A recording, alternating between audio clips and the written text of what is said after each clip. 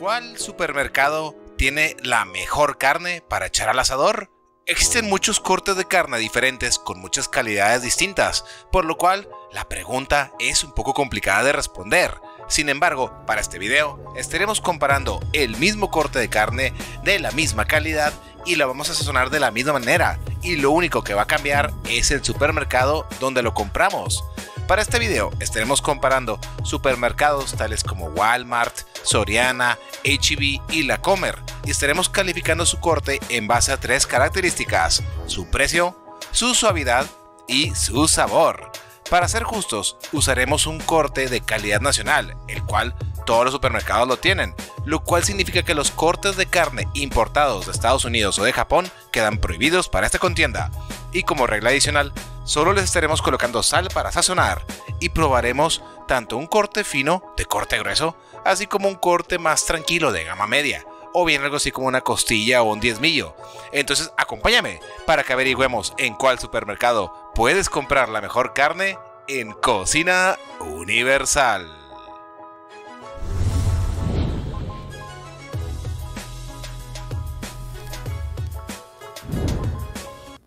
El primer supermercado que estaremos visitando el día de hoy es el HEB. HEB es un supermercado de origen tejano, el cual tiene muchos puntos de venta en el norte de México. Una de sus especialidades es la carne de res, y hay de todos los precios, desde los cortes más económicos hasta unos cortes extravagantes, que pueden valer hasta miles de pesos que provienen del extranjero. El que voy a comprar yo se llama New York Strip y lo estaré pidiendo de una pulgada de espesor.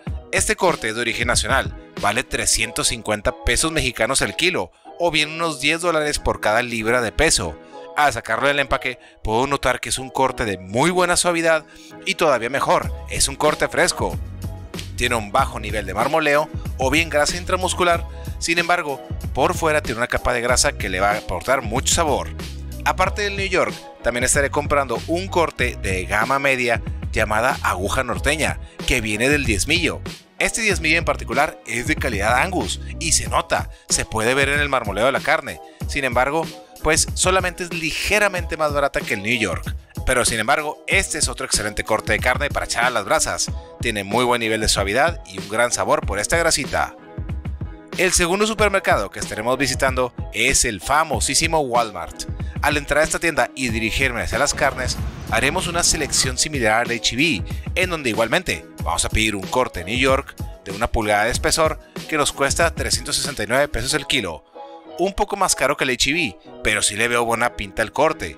Al igual que el HB, para poder comparar la gama media de carnes, tomaremos agujas norteñas y las vamos a comparar. Estas están a 199 pesos el kilo.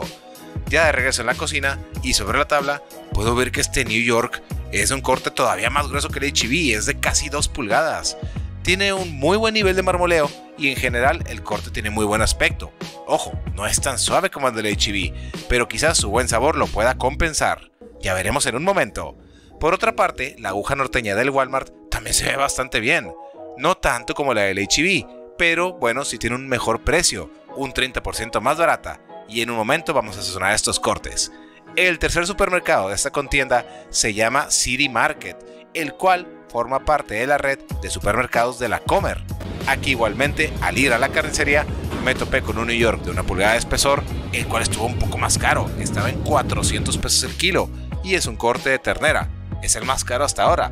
De la misma forma que los demás supers, también compraré aguja norteña, esta estaba en 225 pesos el kilo. El New York, pues es el que veo más magro o bien sin grasa, sin embargo, al tacto sí se siente que es el más suave, quizás porque es de ternera. Por otra parte, la aguja norteña del City Market mm, como que deja algo que desear en el aspecto. Sin embargo, quizás pueda tener el mejor sabor de todos. Habrá que probarla en un momento. Ya por último está el Soriana, el cual vende cortes provenientes de Sonora, México, que es una región muy famosa en este país donde hacen muy buena carne. El costo de New York fue el más caro de todos, con 450 pesos el kilo, y el diezmillo se fue por 275 pesos el kilo.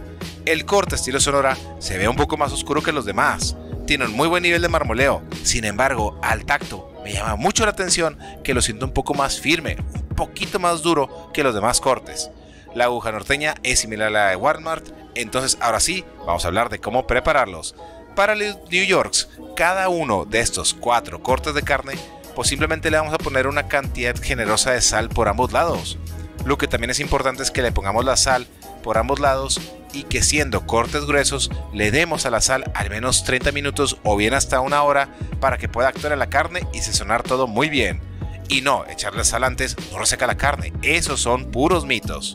Para marinar las agujas norteñas de todos los supermercados, haremos un marinado muy sencillo a base de sal, ajo en polvo, salsa inglesa, jugo de limón y un toque de mostaza amarilla. En lo que reposa la carne, ese también es un buen momento para preparar una salsita de ajo y chile piquín muy buenos para acompañar. En nuestra parrilla, ya bien caliente, comenzamos por echar unos 5 tomates guaje o jitomates si es que si los conoces y añadimos un poco de cebolla. Mientras se asan los tomates y de regreso a la cocina, añadimos un poquito de chiles piquín al molcajete, solo asegúrate de quitar los tallos. Añadimos 1 a 2 dientes de ajo junto con un chorrito de aceite de oliva, un toque de sal y aplastamos todo sin piedad hasta que quede una pasta. Ya en el regreso en el asador, sacamos los tomates de la parrilla, ya que veamos que están bien asados, y procedemos a echarlos al molcajete para que también, como los piquines, los podamos aplastar. Agregamos también la cebolla asada, sal al gusto y con eso ya tenemos lista una salsa molcajeteada buenísima para acompañar la carne. Oye, y hablando de la carne, llega el momento también de agregar a la parrilla los cuatro cortes gruesos de New York. Uno por uno los vamos a ir añadiendo y vamos a asarlos a flama directa por alrededor de 4 a 5 minutos de cada lado, dependiendo de qué término quieras. Y escucha nada más ese bello sonido de la carnita asándose. Después de unos minutos, llega el momento de darle la vuelta. De hecho, me adelanté a darle la vuelta al corte del HB porque es un poquito más delgado. De hecho, después de un momento, sacaré este corte de la parrilla para que no se me pase de la cocción. Los otros tres son un poco más gruesos. De hecho, después de 5 minutos, les doy la primera vuelta y de este segundo lado también les daré 5 minutos. Al cabo de ese tiempo, una forma de estar 100% seguro de que el, tu carne hasta al término que tú quieres es usar un termómetro. Al revisar estos cortes por dentro, puedo ver que llegaron a 135 grados Fahrenheit internos. Por lo mismo, los vamos a sacar del asador y los vamos a dejar reposar por unos minutos. En lo que reposan, este también es un buen momento para añadir las agujas norteñas a la parrilla. Tratándose de un corte delgado, este va a ser un proceso rápido. Aquí no hay mucha ciencia. Déjalo unos dos minutos, quizás dos y medio, y al cabo de ese tiempo les damos la vuelta y los vamos a cocinar por dos y medio minutos del otro lado. Ya que veas que llegaron al mero punto, sácalos de la parrilla y esto huele fenomenal. Antes de probarlos, claro, te enseñaré cómo quedaron por dentro. Estos New Yorks se ve que quedaron muy muy bien, con un excelente sellado, el cual les aporta mucho sabor. Y al partir veo que también quedó con un toque rosa ideal, que es un término de cocción entre medio y tres cuartos. Pero bueno, ahora sí, llega el momento de probar estos cortes de carne para poder compararlos y determinar cuál supermercado tiene la mejor carnita asada. Y comenzamos probando la carne de Walmart. Vamos a ver qué tal quedó.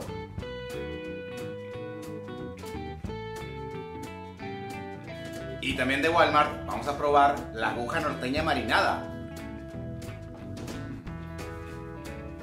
Pues mi conclusión de Walmart es que los cortes finos son mejor de lo que creo que mucha gente piensa. En New York estaba suave, estaba bueno, me falta compararlo contra los demás.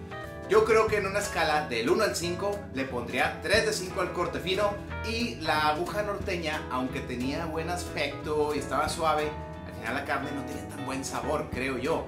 Por eso le pongo 2 estrellas de 5. Y aquí está la carne de Sonora de Soriana. Vamos a probarlo para ver qué tal.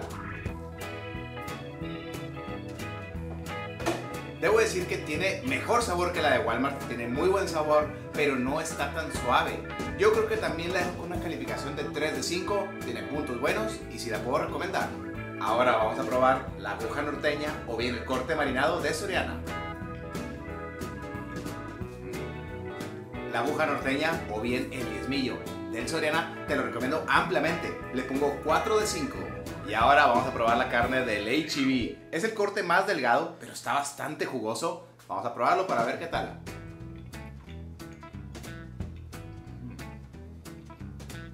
La carne tiene un toque muy bueno, honestamente está suave, tiene buen sabor. Y pues bueno, sí fue una de las más caras, es lo único malo, el HB es caro. Pero bueno, para un corte nacional yo le pongo 5 estrellas, es el que más me ha gustado hasta ahora. Claro que también está el diezmillo marinado Angus del HB. Vamos a ver si ese toque Angus le da un toque especial. Mm. Bastante bueno. Lo único malo es el precio. Ese 10 millos se va más arriba que todos los demás, vale 100 pesos más el kilo. Sí se nota más la calidad, la suavidad, el sabor por el marmoleo, pero al final no le puedo dar 5 estrellas por su precio. Sin embargo, le dejo 4 estrellas y también te lo recomiendo muchísimo. Ya por último está el New York de ternera. Vamos a probarlo a ver qué tal. Se sentía muy suave antes de cocinarlo, se puso un poquito más duro ya después de cocinarlo. Sí se me pasó un poquito la cocción, pero no estuvo tan jugoso. Se siente un poco más seco, por eso yo creo que lo pondría abajo de la lista y le pongo dos estrellas. Al final, si me preguntara Rodo, ¿cómo queda la calificación de los supermercados y su carne nacional? Yo pondría el número 1 el HB, en 2 Soriana, en 3 Walmart y lo siento mucho la comer, lo pongo en lugar número 4. Sin embargo, te invito a que me dejes en los comentarios cuál es tu supermercado favorito para comprar carne y por qué te gusta comprar ahí. Pero bueno, con eso dicho, muchas gracias nuevamente por ver este video. Muchas gracias por dejar un like. Y si te gustó lo que viste, pues déjame algún comentario. ¿Qué te gustaría ver a la próxima? También si todavía no lo has hecho, dale click aquí, donde está el logo de Cocina Universal. Dale click ahí y a la campanita y así vas a estar suscrito a mi canal. Muchas gracias nuevamente. Esto fue ¿Cuál es el mejor supermercado para comprar carne? En Cocina Universal y nos vemos hasta la próxima.